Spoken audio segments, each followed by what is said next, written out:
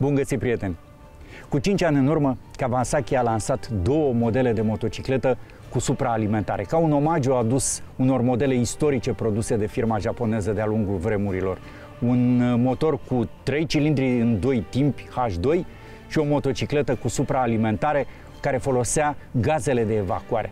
Utilizând o cu tot o altă soluție tehnică, noul model H2 produs de Kawasaki are un compresor mecanic care împinge puterea motorului la 200 de cai.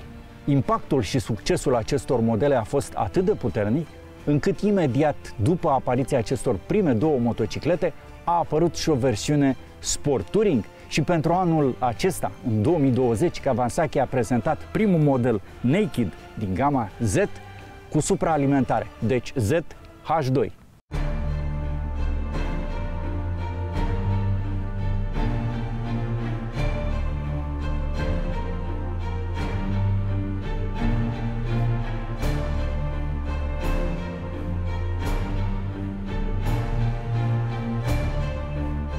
Utilizând același motor și aceeași soluție tehnică de compresor mecanic, producătorul japonez a instalat acest motor pe un cadru grindă cu zăbrele, transformând motorul în membru component a șasiului.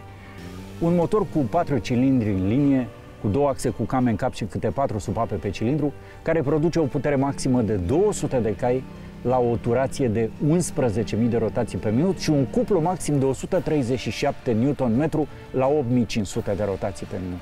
Aceste caracteristici ale motorului fac livrarea puterii atât de elastică încât motocicleta aflată într-o clasă foarte dificilă de hyper-naked-uri la bătaie cu Ducatiul Street Fighter V4S, cu Aprilia Tono și cu Yamaha MT-10 SP, este probabil de departe motocicleta care livrează cel mai lin și plăcut puterea. Adică, cu alte cuvinte, îți oferă cea mai plăcută senzație de pilotaj. Este o motocicletă care, în ciuda celor 200 de cai, poate fi condusă zilnic în oraș fără probleme, pentru că nu suferă în niciun fel motorul atunci când îl duci subturat la 4, 5, 6 mii de rotații pe minut. În oraș poți să mergi a întâia, a doua, a treia, a patra, pentru uzul obișnuit, pentru folosința obișnuită în trafic, ceea ce nu se poate face cu motoarele 4V care oferă un cuplu agresiv, o putere brutală. E adevărat că în acest moment motocicleta asta, Kawasaki ZH2, nu este nici cea mai puternică, nici cea mai rapidă, poate nici cea mai frumoasă, asta depinde de gusturi. Pentru că cea mai puternică și violentă este Ducati Street Fighter. Cea mai agresivă este Yamaha MT-10. Motocicleta despre care se spune că are unul dintre cele mai bune șasiuri este Aprilia. Dar Kawasaki este cea mai plăcută. Și nu spun asta pentru că am mers azi pe ea, ci pentru că este o adevărată plăcere să mergi cu ea pe stradă, știind că ai 200 de cai, dar pe care îi strunește oricine. Nu te surprinde, ea e previzibilă. Întotdeauna când vine vorba despre formele unei motociclete, discuția devine foarte subiectivă. Fiecare are o părere și fiecare poate spune dacă îi place sau nu îi place motocicleta. Și probabil că numai un juriu format din specialiști poate trage o concluzie. Ea e frumoasă sau nu e frumoasă. Pentru mine, motocicleta e foarte interesantă și îmi plac formele ei. De fapt, toată gama Z actuală a producătorului Kawasaki urmărește cam aceleași linii.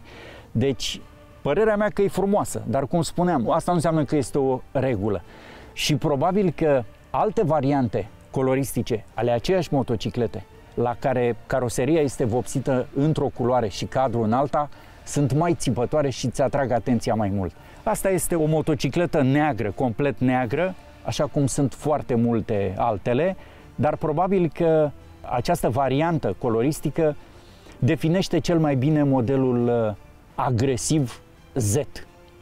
Dar, din nou, vorbim de o agresivitate perfect controlabilă, pentru că ea nu-ți pune problemă în niciun moment, nici măcar atunci când se simte efectul turbinei. La un moment dat, pe la 7000, 8000 de rotații pe minut, parcă iei un șut în fund și motocicleta pleacă de sub tine. Are niște accelerații extraordinare, dar din nou controlabile, nu sunt bruște ca la Yamaha MT-10 care pleacă porată și când vrei și când nu vrei. Aici motocicleta este foarte rapidă, cu plecările fulminante, dar care nu te surprind. Fiind o motocicletă de 200 de cai putere, normal că impune un stil de pilotaj rapid. Dar poziția pilotului este una dintre cele mai relaxate de la această clasă. Și faptul că frânele nu sunt foarte agresive și nu surprind nici ele, contribuie foarte mult la acea senzație de bine. E adevărat că motocicletele concurente despre care vorbeam au componente poate mai scumpe, mai rafinate. Zetul are niște amortizoare Showa produse special pentru acest model și vorbim de soluția tehnică Big Piston cu funcții separate, asistate de niște frâne Brembo, un model foarte modern, dar nu cel de top. Este vorba de modelul M4.32, nu de Stilema. Pe de altă parte, Stilema care este prezentă pe motocicleta Street Fighter Ducati este atât de agresivă frâna încât uh, trebuie mare atenție. Aici nu, aici poți să frânezi cu un deget și este foarte eficace. Și în fine, un ultim argument în favoarea acestui model este prețul foarte competitiv, 16.900 de euro, foarte apropiat de cel al modelului Yamaha și mult sub prețul modelului Ducati, care e adevărat are 8 cai în plus. Aș fi parșiv să vă recomand să testați această motocicletă pentru că s-au vândut foarte puține și e foarte greu de găsit așa ceva. Probabil că un astfel de model se oferă spre test în foarte puține magazine din lume și mie mi-a fost greu să o găsesc. Dar de data asta trebuie să mă credeți pe cuvânt. Este atât de plăcută încât dacă ar fi să aleg unul dintre hipernakedurile existente pe piață în acest moment, l-aș alege pe ZH2. După părerea mea, această motocicletă este de departe cea mai plăcută motocicletă de 200 de cai existentă pe piață. Până la povestea următoare, mii de kilometri de bucurii și mergeți cu grijă.